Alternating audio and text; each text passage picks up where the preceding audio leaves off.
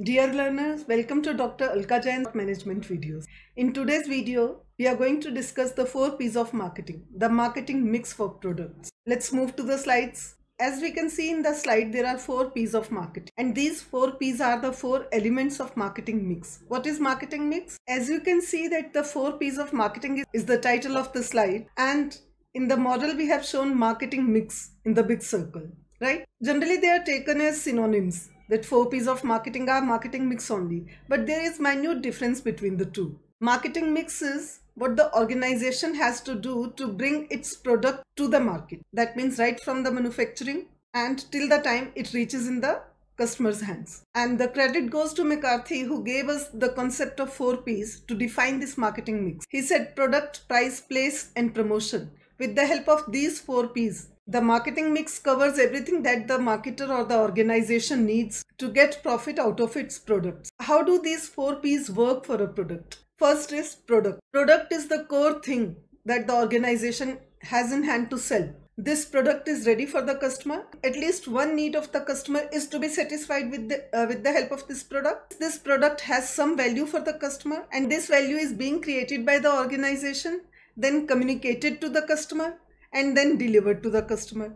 So product is a bundle of values and these values are delivered with the help of variety of uh, products, variety of models, good quality of product, an attractive design of the product, various features of the product which will be helpful in satisfying the need of the customer, packagings, sizes, services, warranties and return policies. All these become a part of the product. So this is the core product that the marketer has to offer in the market. But then there are three more elements. Price. What is the significance of price in these four P's? Price is the value that the customer is ready to pay for the value delivered by the product. In this monetary system, this value is being paid by the currency notes, right? So this price can be in the form of list price. Then if there is a discount which is being offered to the customer, that is also a part of your price. Allowances, payment period or credit terms. These four components are to be included in the term price. This price is important because the customer does not have enough money in the pocket to pay for that product. What will be the use of uh, manufacturing and marketing that particular product? And third is place. Where will the customer buy my product from? Where will the customer find my product? What kind of stores will my customer go to take my product? What kind of channel I will be using as a marketer? What will be the coverage area? At what kind of locations is my product available for the customer? How much inventory is available with the intermediaries? And what kind of transport is being used to make my product available to the customer?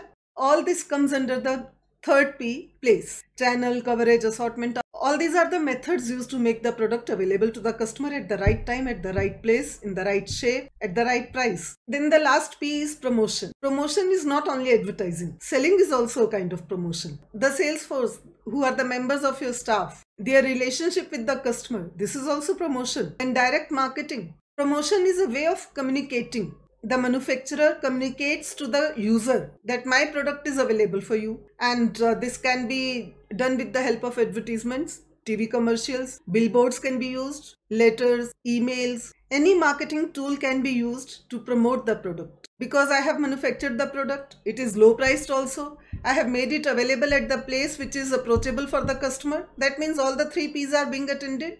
But the fourth P promotion, if I do not tell my customers that my product is available, it has so many features, this is the price and it, and it is available near you, then how will the customer come and buy this product? So this bundle of 4 P's is the complete marketing mix for, the, uh, for an organization. And with the help of these 4 P's only, marketers have been generating revenues for the organizations. They keep modifying their product as per the need of the customer.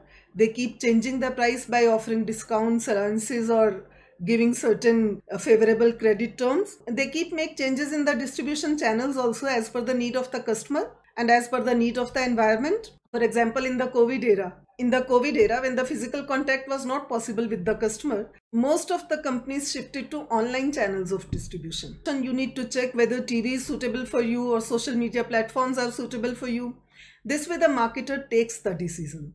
Dear learners, McCarthy's four-P's model has been discussed to understand the marketing mix. So see you in the next short video. Till then, bye bye. Take care.